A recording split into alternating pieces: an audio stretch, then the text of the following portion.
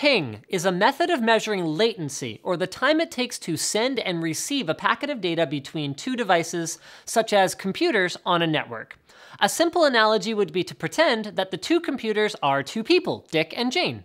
Ping would be the amount of time it takes Dick to say something to Jane and receive a response. The lower the ping time or latency between Dick and Jane, the more effectively they can communicate. As ping times increase, the time intervals between sending and receiving messages will continue to increase until the delays are so long that their communication stops making sense altogether.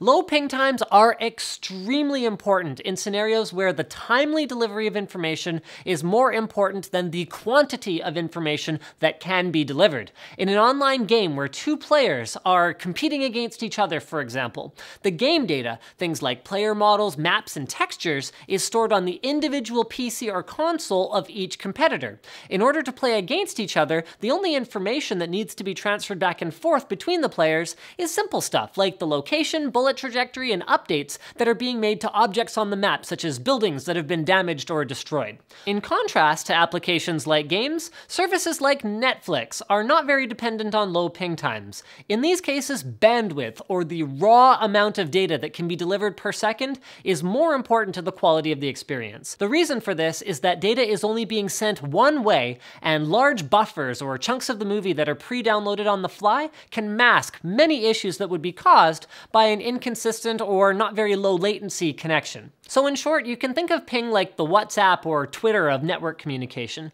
compact messages that are optimized for quick communication and coordination between devices in real time. Another major contributor to your online experience is jitter, but that's a topic for another video. Hopefully we'll be able to add a link to it at some point here. Speaking of links, head over to audible.com slash techquickie to sign up for Audible's monthly audiobook service. You get one audiobook per month with the subscription, and it includes a free one to get get you started.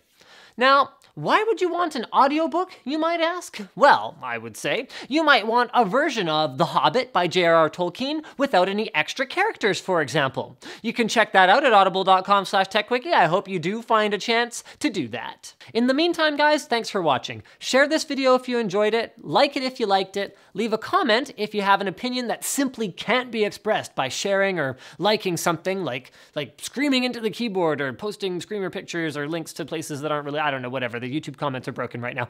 Um, anyway, as always, also don't forget to subscribe to Techquickie for more videos like this in our fastest possible series, as well as some other exciting stuff that we have coming.